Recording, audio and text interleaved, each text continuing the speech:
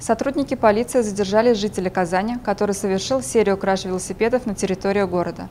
Общая сумма причиненного материального ущерба составила более 218 тысяч рублей. Во всех случаях злоумышленник действовал по одной схеме. Перерезал противоугонный трос, которым был закреплен велосипед.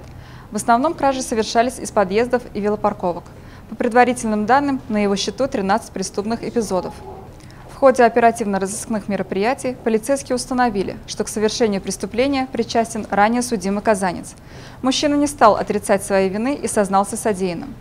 Ходе проведенных следственных мероприятий полицейские изъяли часть похищенных велосипедов и вернули законным владельцам. В настоящее время все уголовные дела, возбужденные по признакам преступления, предусмотренного статьей 158 Уголовного кодекса Российской Федерации «Кража», объединены в одно производство в отделе полиции Ямашевски. В отношении подозреваемого избрана мера пресечения в виде заключения под стражу.